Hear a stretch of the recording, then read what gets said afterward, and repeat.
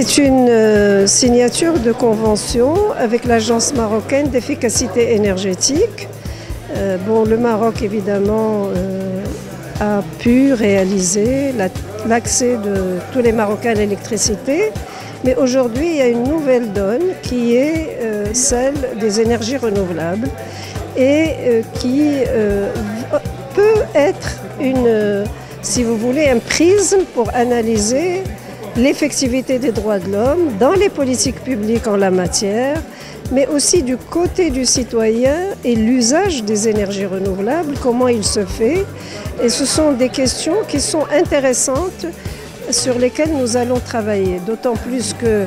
la Commission a retenu comme axe euh, important de son plan d'action les objectifs du développement durable et donc dans l'effectivité de ces objectifs, parmi les objectifs, il y a